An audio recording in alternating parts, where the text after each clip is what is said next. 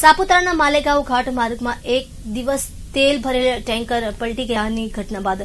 વધુ એક અકસ્માતના બનાવમાં નાશિકથી ટામેટા ભરી રાજકોટ જઈ રહેલ ટ્રકની બ્રેક ફેલ થઈ જતા, પલટી જતા સર્જાયેલા અકસ્માતમાં ટ્રક ચાલક અને ક્લીનરને ઈજા થતા બંનેને સારવાર માટે સામગાન સીએચસીમાં ખસેડવામાં આવ્યા હતા. જ્યારે ટમેટા ખીણમાં વેર વિખેર થતા નુકસાન થવા પામ્યું હતું. ગિરિમથક, સાપુતારા, માલેગાંવ રાષ્ટ્રીય ધોરીમાર્ગ વાહન ચાલકો માટે ગોજારો સાબિત થઈ ગયો છે, જેમાં હાઇવે ઓથોરિટીની ગંભીર બેદરકારી સામે આવી રહી છે. ઘાટમાર્ગમાં તીવ્ર વળાંકો અને ઊંડી ખીણ આવી હોય હાઇવે ઓથોરિટીએ સંરક્ષણ દિવાલ કે દિશા સૂચક બોર્ડ લગાવવાની તસ્દી સુધા ન લેતા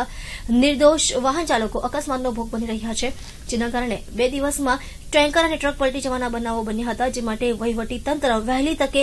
માર્ગ સાઇડ સંરક્ષણ દિવાલ સાથે દિશા સૂચક બોર્ડ લગાવી વાહન ચાલકો સહિત પ્રવાસીઓની સુરક્ષા માટે કાર્યવાહી કરે તેવી માંગણી ઉઠવા પામી છે.